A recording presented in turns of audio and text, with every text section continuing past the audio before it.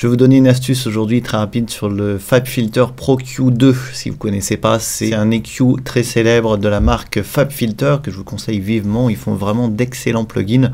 J'aurai l'occasion de détailler un peu tous leurs plugins sur le blog. Je vais commencer par vous donner une petite astuce sur ce Pro Q2. Vous allez voir, c'est très simple. je vais le charger, voilà. Et en fait, euh, une des choses très simples à faire sur le Pro-Q2, c'est tout simplement de créer un filtre coupe bas et coupe haut. Je peux cliquer sur la boule jaune comme ça et ensuite aller choisir mon filtre ici, tout simplement pour activer un low cut ou si je clique ici, activer simplement un high cut, donc un coupe haut ou un coupe bas, d'accord? Et ensuite, je peux les régler en prenant ces petites boules comme ça.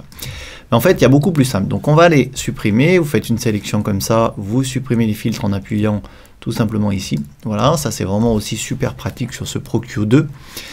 Pour créer un coupe bas ou un coupe haut, eh bien, il y a beaucoup plus simple. Vous allez cliquer à gauche de la zone des 20 Hz ici et vous double-cliquez tout simplement sur la ligne et ça va faire un coupe bas. Pareil pour le coupe haut, il faut le faire à droite des 20 kHz. Donc juste ici, vous double-cliquez et le filtre est immédiatement créé. C'est vraiment beaucoup plus pratique d'aller euh, que d'aller changer tout simplement le filtre qui est ici.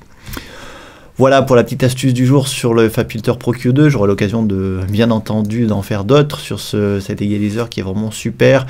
Il y a énormément de fonctions. Il faudrait y passer beaucoup de temps si vous voulez en faire le tour. En tout cas, voilà pour la première astuce sur le coupe bas et le coupe haut. On remarquera également que ce coupe bas et ce coupe haut bénéficient de pentes très très raides, hein, si on a besoin, jusqu'à 96 dB par octave, ce qui est plutôt rare sur un égaliseur euh, en plugin. Voilà, merci d'avoir suivi cette astuce. Comme d'habitude, pour vous abonner, c'est en haut à gauche de la vidéo, en bas à gauche pour vous abonner à la chaîne YouTube, et moi je vous dis à demain pour la prochaine.